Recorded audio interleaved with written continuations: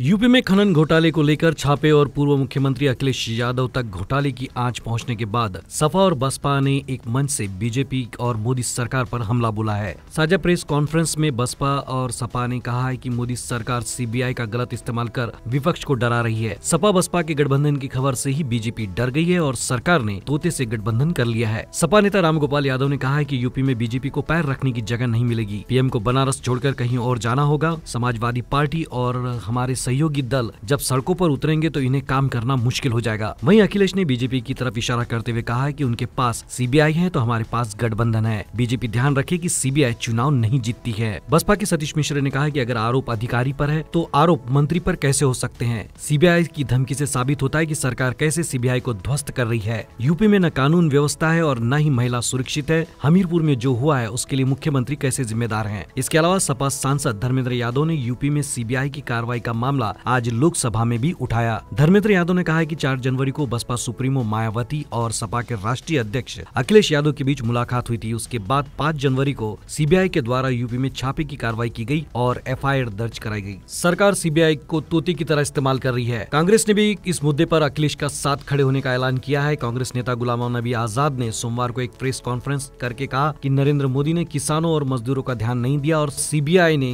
दूसरी संस्थाओं के ज़रिए दूसरी पार्टियों पर दबाव बनाने का काम किया है। सरकार जाते जाते अखिलेश यादव के खिलाफ कार्रवाई कर रही है। सरकार बने हुए इतने साल हो गए, तब से ये क्यों नहीं दिखा? चुनाव के दौरान गठबंधन न हो, इसलिए ये सब हो रहा है, लेकिन इस देश में ऐसी तानाशाही नहीं चलेगी।